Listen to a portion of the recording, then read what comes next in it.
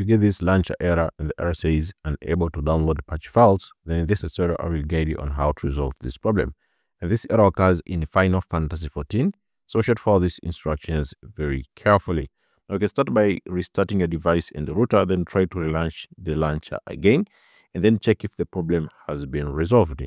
Now, you've done so but are still facing again the same issue, ensure your disk has enough storage space to install the game. If you go to the Final Fantasy 14 system requirement for Windows, you can see they clearly want a hard disk 140 GB or more and recommended SSD 140 GB or more. Now, if you have enough storage space but are still facing again the same issue, try using this Xiv launcher. The official launcher isn't that good. Just close the official one and launch the Xiv launcher. Now, the Xiv launcher, you can get it through this link from GitHub.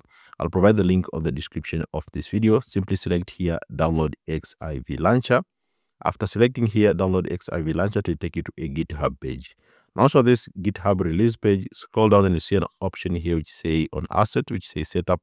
Select this setup and it will be downloaded on your PC. After it has been downloaded, make sure to run it and install it, which will be found on your downloads. Run this setup. After running this setup, then try to log in and try to install the game using this Xiv launcher. It works so fine, so make sure to use this. So ensure let's try using the Xiv launcher. The official launcher isn't that good.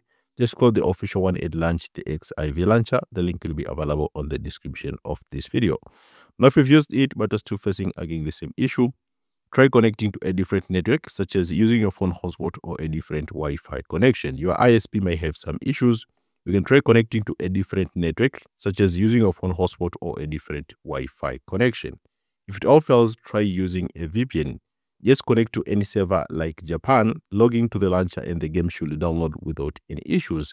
I'll provide the link on the description of this video as well in the comment section if you want to if you guys want to sign up if you sign up using my link, you'll get up to 79% off NordVPN plus an Amazon gift card with a 30-day money-back guarantee.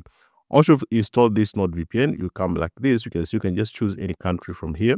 You can just search it here for NordVPN application. You can launch the application and choose any server and you can connect to any server from different countries. So this is the best guide on how to fix this error, which say unable to, to download patch files error in Final Fantasy 14. Make sure to follow these instructions very carefully and I hope you'll be able to resolve this problem.